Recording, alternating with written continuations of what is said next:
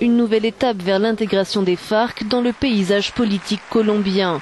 La guérilla marxiste qui a achevé son désarmement mi-août ouvre son congrès national à Bogota ce dimanche afin de lancer son parti politique.